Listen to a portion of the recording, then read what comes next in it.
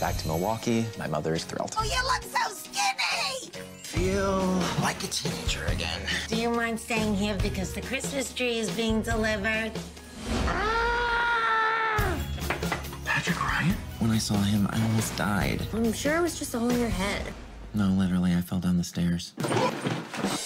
You okay? I'm fine. Let's go. I think my mom just stays awake at night thinking of ways to publicly humiliate me. I think you look adorable.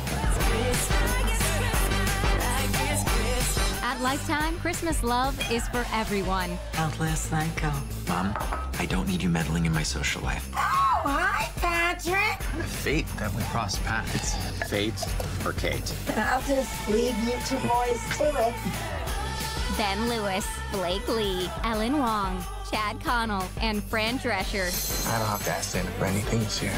I already got it.